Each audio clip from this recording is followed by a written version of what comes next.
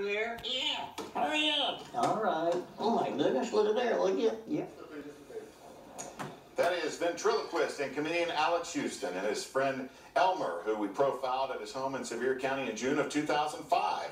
And we learned over the weekend about the passing of the Sevier County entertainer who spent decades on stage with some of the biggest names in country music. Yeah, talented uh, ventriloquist who was a regular on the Jimmy Dean show on CBS back in the 1950s, traveled the country with this dummy named Elmer.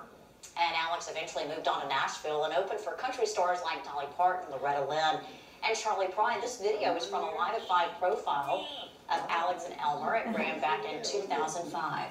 Alex's family realized his talent as a ventriloquist when he was a very young child. They said he was able to call the dogs without even moving his mouth.